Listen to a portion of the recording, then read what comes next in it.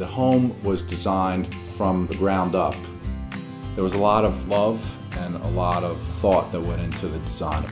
So you're up on the mountain, you have fresh air, great light, a feeling that you're away from the urban setting. The home was built with the intent to make it look like it has been here for 200 years, and yet it has all of the modern conveniences of a, of a new home.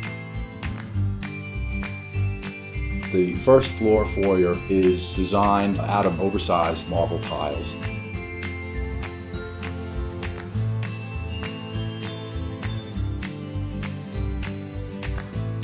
The mural, it's hand done, it's one of a kind. There's an open feeling throughout the house, great light.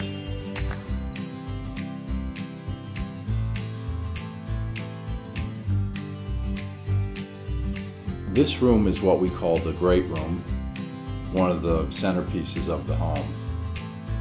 The other feature is the hand-carved fireplace mantle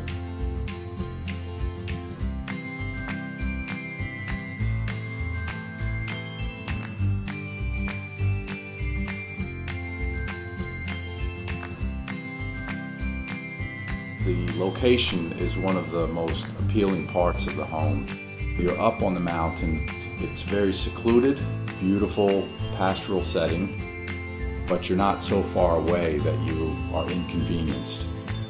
We can open the door, the kids can run out in the backyard, they can do whatever they want. It's exactly what I had wanted for my family when we built the home.